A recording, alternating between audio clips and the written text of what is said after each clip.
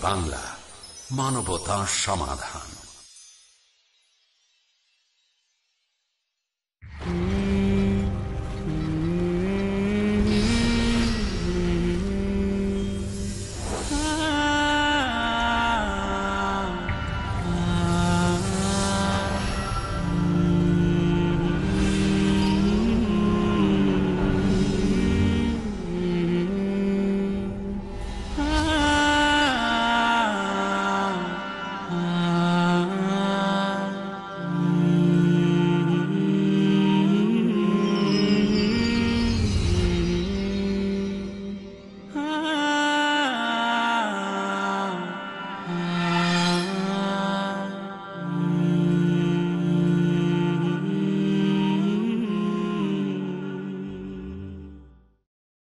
السلام عليكم ورحمة الله وبركاته إن الحمد لله والصلاة والسلام على من لا نبي بعد أما بعد সুপ্রিয় দর্শক শ্রোতা আজকেও একটি হাদিস আমরা আপনাদের সামনে উপস্থাপন করতে যাচ্ছি এই বিষয়টি হচ্ছে আজকের পর্বের যে বিষয় কেয়ামতের ময়দান বিপদ সংকুল ময়দান এই কঠিনতম বিভৎস দিনে সাফায়াতের অধিকার থাকবে না কোনো পীর ফকিরের হাতে, থাকবে না কোনো নবী রাসুলেরও হাতে।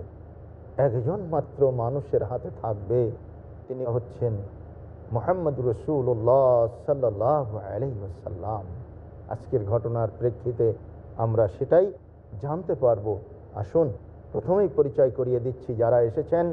প্রাজ্ঞ আলোচক মণ্ডলী আমাদের স্টুডিওতে আছেন doctor A B M Hizbullah. আসসালামু আলাইকুম ওরহমতুল্লাহি ওবরাকাত এবং রয়েছেন ডক্টর জাকারিয়া।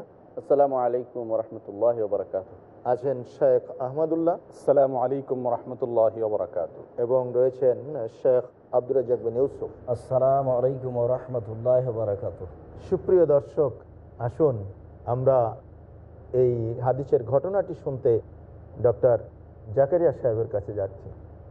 বিসমিল্লাহ, আলহামদুলিল্লাহ ওসালাত ওসলাম রসুলিল্লাহ বাদ। ধন্যবাদ, ভাই। আমরা সবাই বিশ্বাস করি আখেরাতে। কেয়ামতের দিন আল্লাহর সামনে আমাদের সবাইকে উপস্থিত হবে। বোখারি, মুসলিম সহ অধিকাংশ হাদিসের কিতাবে এসেছে ঘটনাটি। সেটা হচ্ছে আনাস ইবনে মালিক রাজিয়াল্লাহ আনহু বর্ণনা করেন। তিনি বলেন যে আল্লাহ তাআলা আগের এবং পরের সমস্ত মানুষকে এক ময়দানে একত্র করবেন। সেটা ময়দানে মাসার হাসরের ময়দানে একত্র করবেন।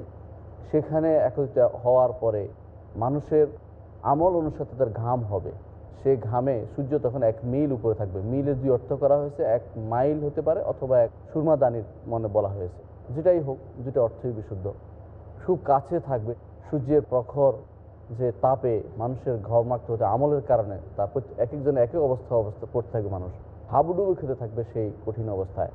সেখানে তারা তখন বলবে যে অবস্থা থেকে নিষ্ক্রান্তির জন্য আমরা কারণ আবুলিজতের কাছে যেতে হবে। আমরা এখন কি করব।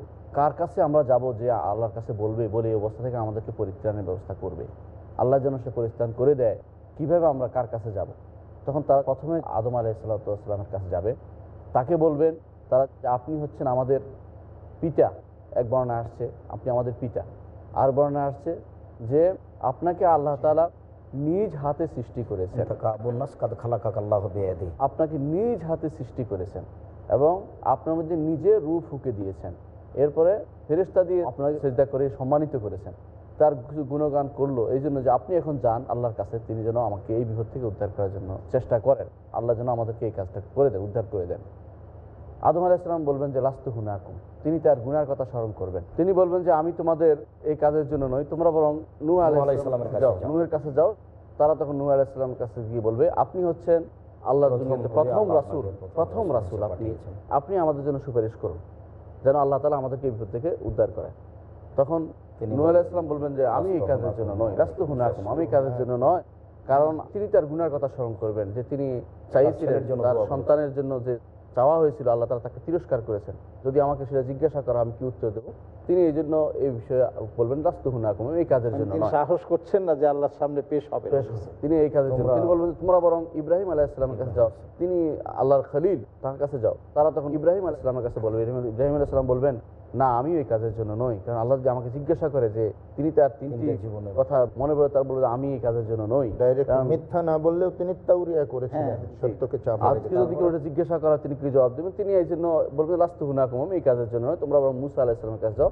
মুসার কাছে সে আল্লাহর কালিম সে আল্লাহর সাথে কথা বলেছে। তো তার কাছে যাও। তিনি তার গুনার কথা স্মরণ করবেন এবং এই জন্য তিনি বলবেন আমি এই কাজের জন্য নয় বরং তোমরা ঈসা আলাহ ইসলামের কাছে যাও। ঈসা আলাহ ইসলামের কাছে যাওয়ার পরে তিনি কিন্তু কোনো গুনার কথা বলবেন না। তিনি বলবেন যে আমি এই কাজের জন্য নয় বরং তোমরা মোহাম্মদ রসুল্লাহ সাল্লাহ ইসলামের কাছে যাও। তারা মোহাম্মদ রসুল্লাহ সাল্লামের কাছে যাবে। মোহাম্মদ সাল্লাহ সাল্লাম বলবেন যে আনা লাহা আনা লাহা, আমি এই কাজের জন্য আমি এই কাজের জন্য। হাদিসে আসছে যে রসোল্লা সাল্লাম তখন তিনি যাবেন ফা আদহাবু ফা আখারু তাহতাল আরশে। আমি যাব এবং আরশের নিচে সেজদায় পড়ে যাব। তখন সেজদায় পড়ে গেলে। আল্লাহ তালা আমাকে অনেক প্রশংসা তখন জানিয়ে দেবেন আল্লাহ প্রশংসা করা অনেক কিছু। ইয়াফতাহুল্লাহ আলিয়া মিনাল মাহমিদে মালা সিয়াল আন। যেটা এখন আমি স্মরণ করতে পারছি না। এত কিছু আল্লাহ তালা আমাকে জানিয়ে দিবেন তখন। সেইগুলি দিয়ে আল্লাহ প্রশংসা করার পর আল্লাহ তালা বলবেন যে এর ফায়ার আসাকা সাল তোরতা এস ফায়া তুষাফা যে আপনি মাথা উঠান মাথা উঠান আপনি চান আপনাকে দেয়া হবে আপনি সুপারিশ করুন আপনার সুপারিশ গ্রহণ করা হবে। তখন তিনি এই অবস্থা থেকে মানুষকে নিষ্ক্রিয় দেওয়ার জন্য তিনি সুপারিশ করবেন। এখন আল্লাহ রবুল ইজ্জত তখন আসর মাঠে হচ্ছে বিচারের ব্যবস্থা করবেন। এটি হচ্ছে মৌলিক ঘটনা এই শুক্রিয়া জাজাকাল্লাহ। ডক্টর জাকারিয়া সুপ্রিয় দর্শক শ্রোতা শুনছিলেন ঘটনার যে ধারাভাষ্য তিনি বিবৃতি দিলেন।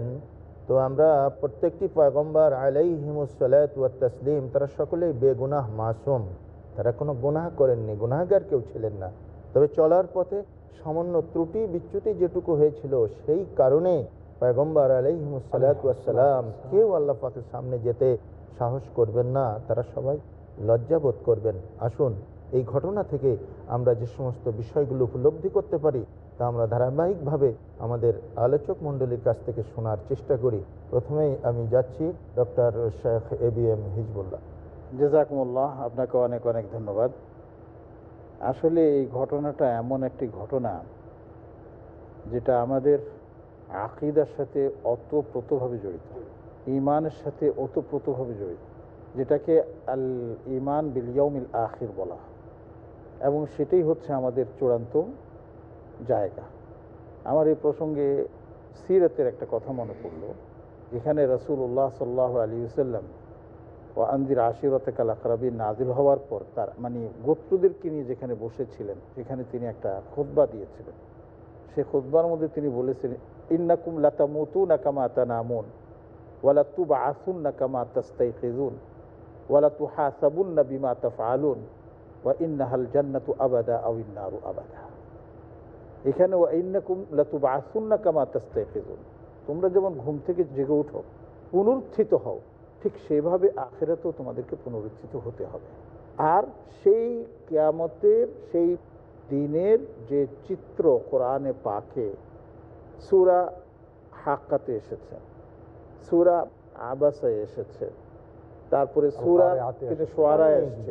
বিভিন্ন সুরাতে মানে এইগুলো পড়ার পর এগুলি জানার পর যদি কোনো মুসলিম হৃদয়ে কোনো অনুভূতি সৃষ্টি না হয় আমি জানি না তার ইমানের সবলতা কতটুকু থাকে আল্লাহ তার যে গভীর, ব্যাপার আমি সেদিকে যাচ্ছি। এখানে একটি বিষয় আমি আপনার দৃষ্টি আকর্ষণ করছি।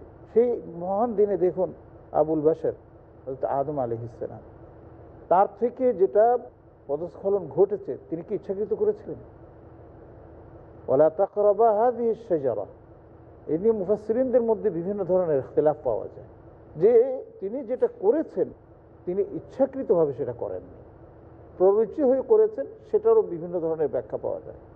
দেখুন হজরত আদম আলী ইসলাম এটাকে একটা মহা মানে অন্যায় হিসাবে গণ্য করেছেন। আল্লাহ সেটা ক্ষমাও করে ক্ষমা তো দিয়েছেন। করে ক্ষমা করে বলেছেন, দিয়েছেন, তারপরেও তিনি নিজেকে নিজেকে ভীত সন্ত্রস্ত মনে হাসানাতুল আবরার সাইয়াতুল বলতে মুকাররাবিন কথা যেটা রব্বানা আসে যালামনা আনফুসানা আনফুসানা বারবার বলতে ইল্লাম বলতে আসে। আমরা এখন হ্যাঁ, ধন্যবাদ শেখ আমরা আবারও আপনার কাছে আসব ইনশাল্লাহ জি শেখ আহমদুল্লাহ এ ব্যাপারে ধন্যবাদ আপনাকে। হামুদাম মুসাল্লি মুসাল্লিম আম্মাবাদ আসলে আলোচিত ঘটনাটির সর্বপ্রধান যে গুরুত্বপূর্ণ দিক আমার মনে হয় শিক্ষণীয় সেটা হলো কেয়ামতের ভয়াবহতা এখানে উঠে এসেছে। কেয়ামতের অবস্থা যে কি হবে এ সম্পর্কে হাদিস থেকে আমরা অনুমান করতে পারি যে বড় বড় নবী এবং রসুলগণ পর্যন্ত আল্লাহ সুবাহানা তালার দরবারে কোনো কিছু পেশ করবেন এই সাহসটুকু হারিয়ে ফেলবেন। ভয়াবহতা মাত্রা কোন পর্যায়ে গেলে? এরকম অবস্থা হবে। আমরা যারা আজকে দুনিয়াতে তবা করা যাবে আল্লাহ ক্ষমাশীল এরকম বিভিন্ন পয়েন্ট জেনে আমরা অবলীলায় অন্যায় কাজ করে যাচ্ছি তাদের কি একটুও ভয় হয় না যে কেয়ামতের যে দুরবস্থা কোরআনে কারিমে যার বিবরণ দিতে গিয়ে আল্লাহ তালা বলেন এমন এক দিন হবে কেয়ামতের দিন যে সন্তান ভূমিষ্ঠকারিণী মা নিজের সন্তানকে ভুলে যাবে। চিন্তা করা যায় যে মা তার সন্তানকে ভুলে যাবে। পৃথিবীতে এমন একটি দৃশ্য কি হয় সারা দুনিয়াতে কখনো? এক মিনিটের জন্য যে মা তার সন্তানকে ভুলে ছেড়ে চলে যায়।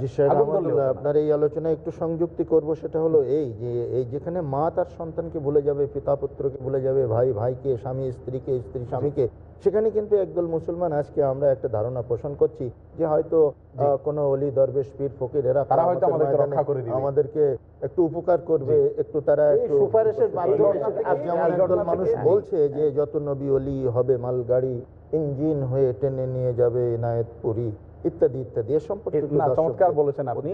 এই হাদিসের এটা আরেকটা মানে গুরুত্বপূর্ণ শিক্ষণীয় দিক। প্রথম যেটা আমি বলছিলাম শেষ করি যে ভয়াবহতা এমন মাত্রায় গিয়ে পৌঁছাবে যে মা সন্তানকে ভুলে যাবে মানুষকে মনে হবে মাতালের মতো অথচ তারা মাতাল নয়।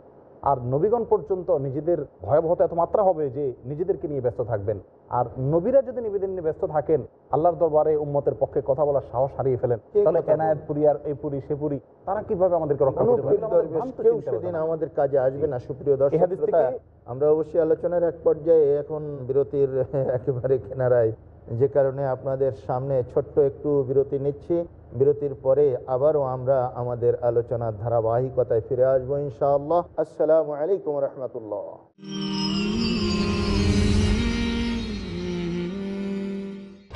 হে মুমিনগণ আল্লাহকে ভয় করো। হালাল হারাম একমাত্র আল্লাহ পাক করতে পারেন তোমাদের জন্য মৃত জীবের মাংস ও সোয়ার অবৈধ করা হয়েছে। বিড়ি তামাক জর্দা সিগারেট গুড় এগুলো হারাম খাদ্য। হে ইমানদারগণ তোমরা হেদায়েতের পথে থাকলে কেউ পথভ্রষ্ট করতে পারবে না। জ্ঞানের মূল উৎস হচ্ছে আল্লাহর রহিম তিনি পূর্ব পশ্চিমের মালিক। তিনি ছাড়া কোনো মাবুদ নেই। আল্লাহ যে আইন নাজিল করেছেন তার বিপরীতে কেউ যদি আইন প্রণয়ন করে তো তারা কাফের।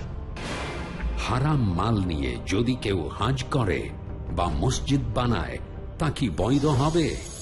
জানতে হলে দেখুন ইসলামের শ্রেষ্ঠত্ব প্রতি শুক্রবার রাত সাড়ে এগারোটায় বা পুনঃ সম্প্রচার সকাল সাড়ে দশটায় বাংলাদেশে পিস টিভি বাংলায়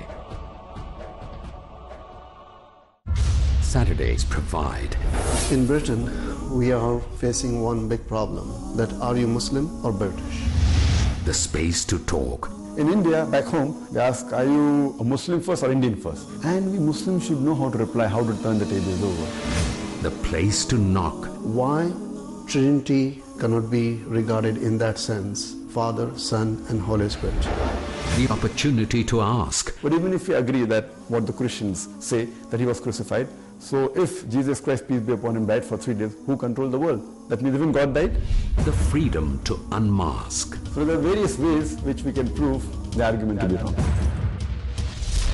দেখুন ডক্টর জাকিরের সঙ্গে আলাপ করি প্রতি শনিবার রাত সাড়ে সাতটায় আপ পুনঃ সম্প্রচার। সকাল সাড়ে নটায় বাংলাদেশে। পিস টিভি বাংলায়।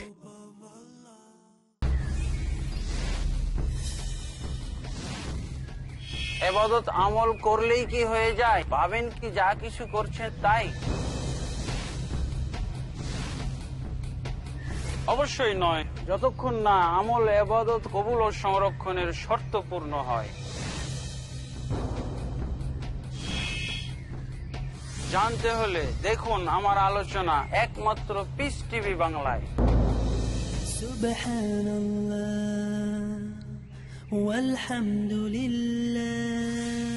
বুঝুন সেই বিশিষ্ট নীতিমালা যার কারণে ইসলাম সারা বিশ্বে জনপ্রিয় হয়ে উঠেছে।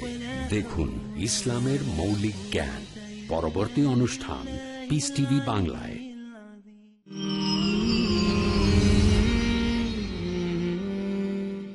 আসসালামু আলাইকুম রহমতুল্লাহ বারকাত সুপ্রিয় দর্শক শ্রোতা আমরা যে বিষয়টি আলোচনা করছিলাম সে বিষয়ে ফিরে আসলাম। যারা আমাদের আয়োজন শ্রবণ করছেন ধন্যবাদ তাদেরকে। যে কামতের ময়দানে এখানে সাফায়াতের কান্ডারি আর কেউ হতে পারবে না। একমাত্র বিশ্বনবী মোহাম্মদ রসুল্লাহ সাল্লাহ আলী ওয়াসাল্লাম ছাড়া। আমরা আব্দুরাজ্জাক বিন ইউসুফ আপনি কিছু বলুন দর্শক শুক্রিয়া জাজাকাল্লাহ খায়ের অত গুরুত্বপূর্ণ হাদিসটিতে আমরা বিচারের মাঠের একটা বাস্তবতা অবস্থা বুঝতে পারছিলাম। যেখানে নবীগণ মানুষের জন্য তো কিছু করা দূরের কথা নিজের বিষয়টিকে নিয়ে তারা খুব কঠিনভাবে ভাববেন। অন্য বর্ণনা এসেছে কাদ গাজিব আলাইয়া রব্বি মা গাজাবা মিন কাবলাবা আজ আমার প্রতিপালক আমার প্রতি এত অসন্তুষ্ট হয়েছেন যা পূর্বেও কোনোদিন হননি পরেও কোনোদিন হবেন না। নাফসি নাফসি আমার যে কি হয়? তা আমি নিজেই বুঝি না। অতএব আমি এ ব্যাপারে সক্ষম নই। তোমরা ধারাবাহিকভাবে অমুকের কাছে যা যেটা আমরা শুনতে পেলাম। আমরা সবচেয়ে সম্মানী নবী বা সম্মানের যুগে দ্বিতীয় নবী হিসাবে বা আমাদের মোহাম্মদ সাল্লাহ সাল্লামের পিতা হিসাবে ইব্রাহিম আলাই সাল্লামকে এই মুহূর্তে আমরা পেশ করে একটা বিচার মাঠের পরিস্থিতি দেখতে পারি। আবু হরাই রাজি আল্লাহ তালাহ বলেন, লাকিয়া ইব্রাহিম আবাহু আজার বিচার মাঠে ইব্রাহিম আলাই সাল্লাম তার পিতা আজরের সাথে সাক্ষাৎ করবেন। ওয়ালা ওয়াজে আজার কাতারতনা গাবারা। ওই সময়তে আজরের মুখখান থাকবে ধুলোই মলিন খুব চিন্তিত। তখন ইব্রাহিম আলাইসাল্লাম বলবেন আলাম আকুল্লাক আল্লাহ তাসিনি আপনাকে আমি বলিনি আমার যে আপনি আমার নাফরমানি করিয়েন না। কতবার আপনাকে আমি বলেছি আব্বু আপনি আমার নাফরমানি করিয়েন না। তখন পিতা বিচারের মাঠে বলবে আলিয়ামাল্লা আসিকা। আজ আমি তোমার নাফরমানি করব আজকে যেটা তুমি বলবে সেটা আমি মেনে নেব। তখন ইব্রাহিম আলাইসাল্লাম বলবেন আল্লাহ আদানি আল্লাহ তহজিন ইয়ামাল কেয়ামা আইও খিজিন আকজামিন আবিল আবাদে। হে আল্লাহ তুমি আমার সাথে ওয়াদা করেছ যে ইব্রাহিম তোমাকে আমি বিচারের মাঠে অপমান করব না। আর আজকে আমার পিতা জাহান নামে যাবে আর আমি জান্নাতে যাব। এর চেয়ে বড় অপমান কি হতে পারে? এটাই সবচেয়ে বড় অপমান। তখন আল্লাহ তালা বলবেন ইব্রাহিম ঘটনাটা এগুলো সবগুলো সাফাতের পরে হবে। যে এমনি হারামতুল জান্নাত আলাল কাফেরিনা আমি কাফেরদের প্রতি জান্নাত আমি হারাম করে দিয়েছি। তোমার পিতা আমার নবী ইব্রাহিমকে মানেনি কাজে তোমার পিতার জান্নাতে যাওয়ার কোনো সুযোগ নেই। তারপরে তার পিতার আকৃতি পরিবর্তন করে দেওয়া হবে। ইউখা জমিন কয়েমেহি ওয়াউলকে ফিন্নার তার পাগুলি ধরে তাকে জাহান নামে নিক্ষেপ করা হবে। আমরা অত্র বোখারি মুসলিমের হাদিস থেকে একটা বিচারের মাঠের কঠিন অবস্থা পেশ করছিলাম যে ইব্রাহিম আলাইসাল্লাম তার পিতার কিছুই উপকার করতে পারবেন না বিচারের মাঠে। তাহলে আমরা যারা ভুল পদ্ধতিতে অনেক মানুষকে সুপারিশকারী হিসেবে ভাবছি বা অনেক মানুষের পিছনে পিছনে চলছি যারা আমাদের বিচারের মাঠে কিছু করতে পারে বলে আমরা আশাবাদী। ওইসব মুসলিম ভাই বোনকে আমরা বলতে চাচ্ছি যে ইব্রাহিম আলাইসাল্লাম যদি বিচারের মাঠে পিতার জন্য কিছুই করতে না পারেন তাহলে আপনার একজন পীর বা একজন এই ব্যক্তি আপনার বিচারের মাঠে কি করতে পারে এটা আপনি কীভাবে ভাবলেন? আনাস রাজি আল্লাহ তালাহ বলেন রাসুল সাল্লাহ আলি সাল্লাম বলেছেন ইন্নি ফারাতক মালাল হাউস। আমি তোমাদের সবার আগে হাউজে কাউসারে গিয়ে উপস্থিত হব। নবী বলছেন। নবী মোহাম্মদ সাল্লাহ সাল্লাম আমাদেরকে বলে গেছেন সাহাবির সামনে বলে গেছেন। এরপরে তিনি বললেন মান মাররা আলাইয়া সারেবা অমান সারেবা লাম ইয়াদমা আবাদা। যে ব্যক্তি আমার পাশ দিয়ে যাবে সেই ব্যক্তি হাউজে কাউসারের পানি পান করবে। পারবে।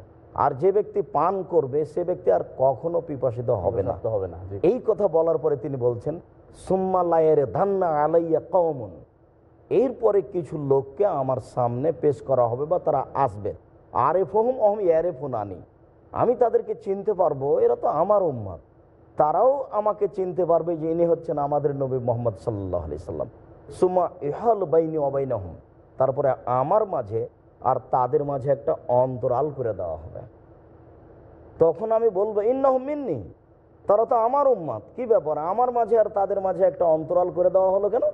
তখন ফেরেস্তাগণ বলবেন ইন্নাকাল্লাহ তাদরি মাহাদা সুবাদ যে আপনি জানেন না, আপনার পরে তারা আপনার দিনের নামে কত কি ঘটিয়েছে।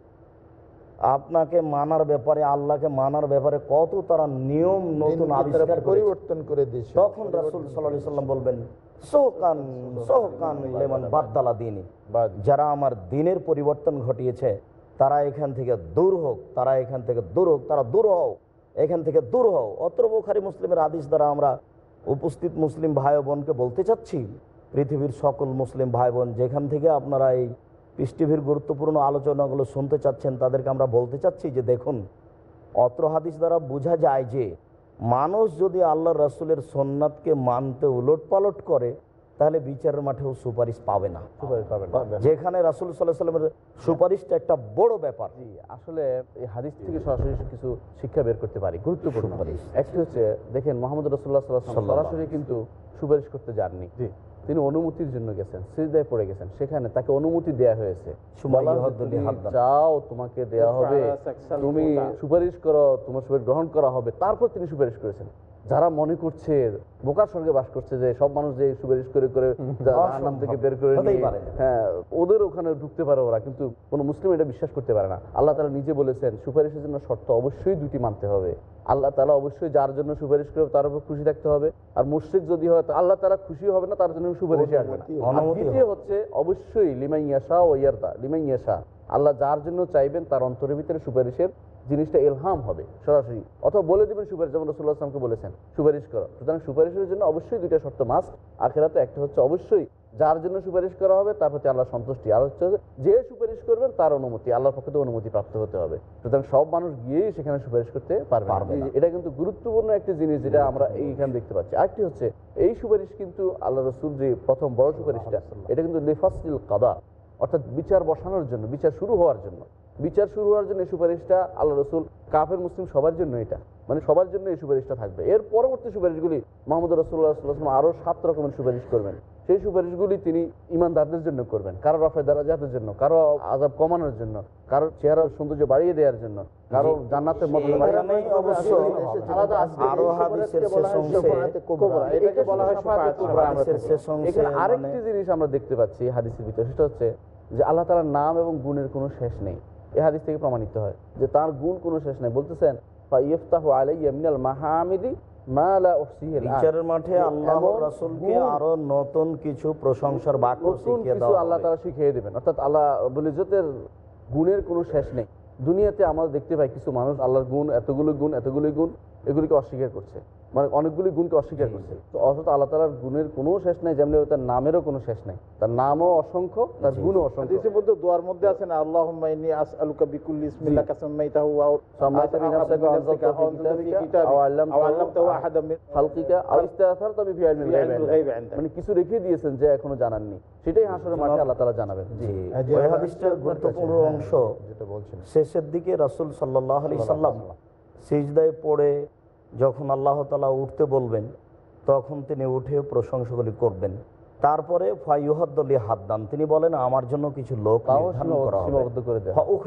আমি তাদেরকে জাহান্নাম থেকে বের করে নেব। তারপরে তাদেরকে প্রবেশ করা। এরপরে দ্বিতীয়বার আমি সিজদায় পড়ে যাব। দ্বিতীয়বার সিজদায় পড়ে গেলে আবারও আল্লাহ তালা আমাকে কিছুক্ষণ রাখার যতক্ষণ তার রাখার রেখে দিবেন। তারপরে আমাকে বলবেন মাথা ওঠান আপনি বলেন যা বলবেন গ্রহণ করা হবে। সুপারিশ করেন, যা সুপারিশ করবেন তা মেনে নেওয়া হবে, চান যেটা চাইবেন সেটা দেওয়া হবে। আবার তিনি বলবেন, আমার উম্মা জাহান নামে আছে, তাদেরকে আপনি জাহান্নাম থেকে বের করে দেন। ফাইহাদ্দুল্লি হাত দেন আবার সেখানে কিছু লোক নির্ধারণ করা হবে। তিনি তাদেরকে জাহান্নাম থেকে বের করে জান্নাতে দিয়ে দেবেন। আবার তিনি সিজদায় পড়বেন। আবার সিজদায় পড়ে কিছুক্ষণ আল্লাহ তাকে রেখে দেবেন। তারপর আল্লাহ তাকে মাথা উঠাতে বলবেন। তিনি মাথা উঠিয়ে এমন কিছু বাক্যে আল্লাহর প্রশংসা করবেন। যে বাক্যগুলি তিনি দলিয়াতে বলে যাননি সেগুলো নতুন বাক্য হবে যেটা আমরাও জানি এরপরে তিনি মাথা উঠিয়ে সুপারিশ করবেন তার সুপারিশ গ্রহণ করা হবে। তখনও কিছু লোক নির্ধারণ করা হবে সেগুলিকে জাহান্নাম থেকে জান্নাতে দিয়ে দেওয়া হবে। এরপর আল্লাহ রসুল বললেন এরপরেও জাহান নামে কিছু লোক থেকে যাবে যাদের অন্তরে সরিষা সমপরিমাণ ইমান থাকবে না। থাকবে না। আমাদের এখানে একটা গুরুত্বপূর্ণ কথা জেনে রাখা ভালো যে একমাত্র শির্কের কারণেই মানুষের ইমান হারিয়ে যায়। তাহলে অন্তত শির্ক থেকে বেঁচে থাকার চেষ্টা করি। তারপরে আল্লাহ তালাকে মানার চেষ্টা করি। ইনশাল্লাহ বিচারের মাঠে একটা আমাদের সফলতা সুপারিশ থাকবে। আমরা আয়াতুল কুর্সি পড়ি। সেখানে কি আল্লাহ পাক আরও আছে ফামা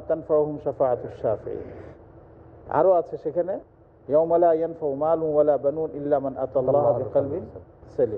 তো এই জিনিসগুলো আমরা যদি সামনে রাখি তাহলে বর্তমানে আমাদের দেশে বা বিভিন্ন দেশে আমি সারা ওয়ার্ল্ড ওয়াইড বুঝছি একটা ফিতনা এমন চরমভাবে আকার ধারণ করেছে যে কিছু মানুষ নিজেদেরকে আল্লাহর কাছে উম্মতের শফি হিসেবে প্রকাশ করছে।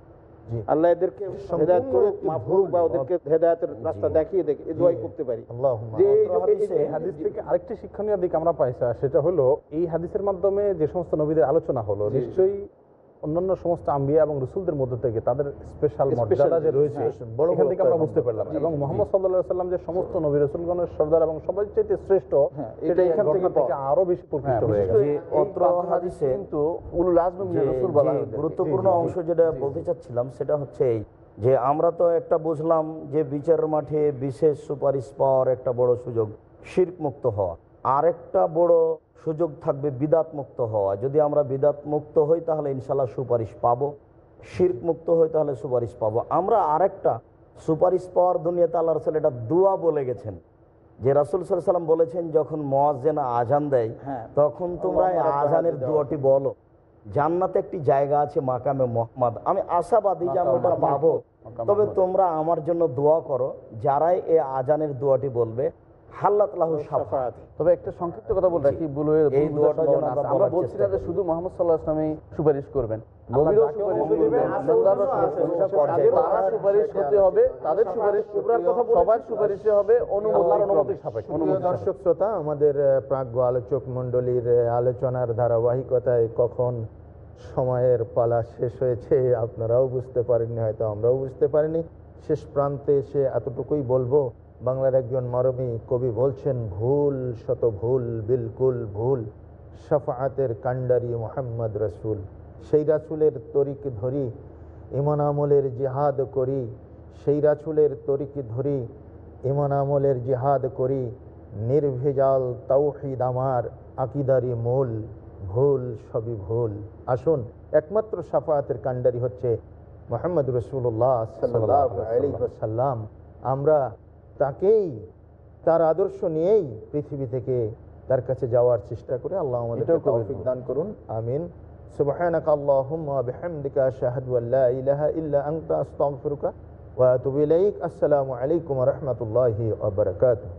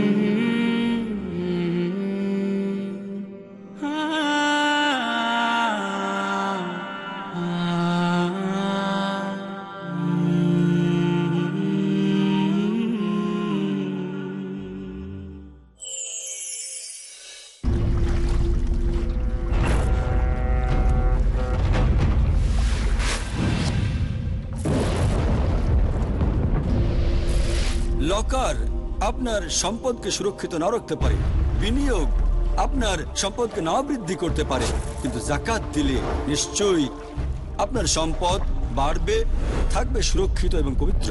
পিস টিভির সাথে থাকুন। আপনার জাকাত ও দানের অর্থ পাঠাতে পারেন আইআরএফআই আলট্রায়ন ব্যাংক কোয়াড্রান্ট কোড আটচল্লিশ Calthorpe road Birmingham UK pound account number শূন্য এক এক তিন দুই তিন শূন্য এক। আই ব্যান জিবি বাহান্ন এল ও ওয়াইডি তিন শূন্য নয় ছয় তিন চার শূন্য এক শূন্য দুই চার এক নয় দুই শর্ট কোড তিন শূন্য শূন্য শূন্য আট তিন সোয়েব BIC code I BO BGB বাইশ। টাকা পাঠিয়ে আমাদের ইমেল করুন admin at the rate Peace TV dot TV. Peace TV মানবতার সমাধান। আসসালামু আলাইকুম।